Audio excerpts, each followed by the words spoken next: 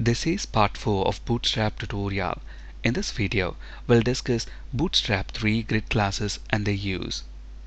On this slide, you can find the list of Bootstrap 3 grid classes. Grid classes of a given screen size apply to that screen size and larger unless another declaration overrides it. Let's understand what we mean by this statement with an example. So here is what we want to do. We want to create four equal columns on both medium and large devices. To achieve this, I'm going to use four div elements. And for each div element the class is going to be equal to col-md-3 notice I'm using 3 instead of star because we want four equal columns. Each column spanning across three columns within the 12 column bootstrap grid system. So this is going to give us four equal columns not only on a medium device but also on large device because remember grid classes of a given screen size not only apply to that screen size but also larger screen size unless we have another declaration overriding it. Since we are not overriding this with col dash lg dash star class we are going to get four equal columns on a larger device as well. So I have this code already typed. So when we view this page in the browser notice we get four equal columns. Now if you look at a large device the screen size is greater than or equal to 1200 pixels whereas for a medium device it's between 992 and 1200 pixels. Now when we look at this browser how do I know what is the screen size? Well we can easily find that out by launching browser developer tools. So I'm using Google Chrome so I'm pressing F12 to launch the browser developer tools. And look at this as I start to resize the browser at the moment look at that right here you can see the screen size. The first number is the width. So at the moment we are on 1336 pixels which is within the range of a large device. So notice on a large device also we are getting four equal columns. Now when we fall to less than 1200 pixels so now at the moment we are on you know 11,000 10,000 1093 pixels. So this is within the range of a medium device. So on a medium device, we are getting four equal columns. Even on a larger device, we are getting four equal columns. And that's because, remember the important point, grid classes of a given screen size apply not only to that screen size but also larger devices unless another declaration overrides it. Now let's see how is the behavior going to be on smaller screen size. So at the moment we are using col-md you know the medium class uh, medium device class. Now what is going to happen if the screen size falls below the medium device uh, screen size? So for example, next to medium device, you know, the immediate smaller one a small device and for this the range is between 768 and 992.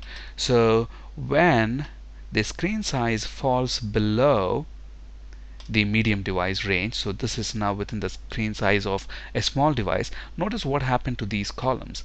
They are stacked on top of each other with each column spanning across 12 column bootstrap grid system. So this is what happens on a small device. Now let's say we want to change the behavior on a large device. On a large device I don't want four equal columns. Instead I want two columns with 3 is to 1 ratio. That's on a large device. But on a medium device I still want four equal columns. Okay? So this class is going to give us four equal columns on a medium device.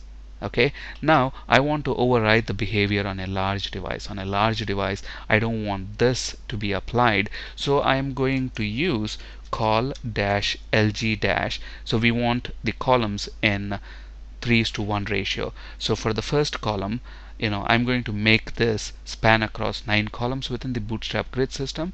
And the second column, I'm going to make it span 3 columns.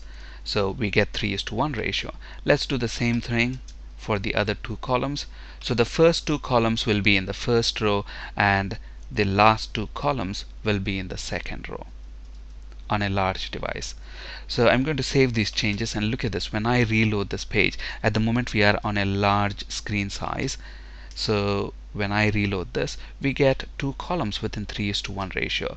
But then the moment we fall within the range of a medium device look at that. I'm getting four equal columns. So on a medium device we are getting four equal columns.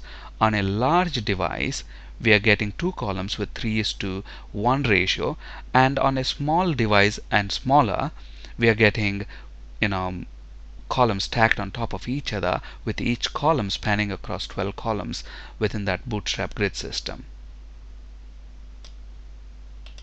So here we are overriding the behavior by using you know classes for both medium and large device. Now let's say we want to create two equal columns on a small device. At the moment what's happening on a small device columns are stacking on top of each other. Now I don't want this behavior on a small device. I want two equal columns.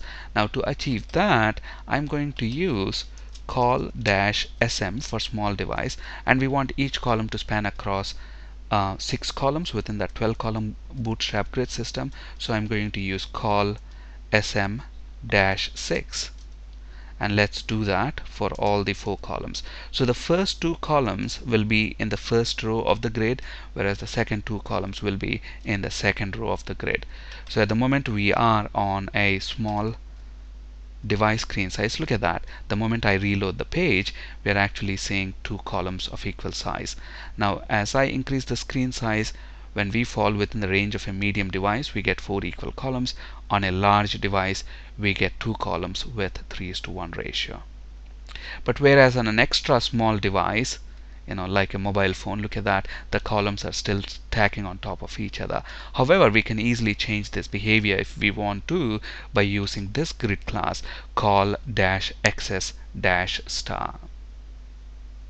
Now, at this point, if we remove you know all the classes except col sm dash 6 you know we're only having the small class I mean small screen size class except that I'm going to remove all the other classes. So when we do this you know we get two equal columns on a small device and larger whereas on an extra small device the columns will be stacked on top of each other. This means with this class alone we are going to get two columns you know two equal columns on a small device on a medium device and on a large device. Whereas on an extra small device you know the columns will be stacked on top of each other with each column spanning across 12 columns. Within that 12 column bootstrap grid system. Because remember by default you know the grid classes of a given screen size apply to that screen size and larger unless another declaration overrides it. So I'm going to save these changes and when I reload this at the moment we are on an extra small uh, screen size so the columns are stacked on top of each other. But as I keep moving and when we fall within the range of a small device notice what is going to happen. It is going to give us two equal columns. This is on a small device and on a medium device again we have two equal columns and even on a large device we have two equal columns. So by now I believe you have understood the use of these Bootstrap 3 grid classes. With these grid classes you have complete control over the layout of your website on different screen sizes. Thank you for listening and have a great day.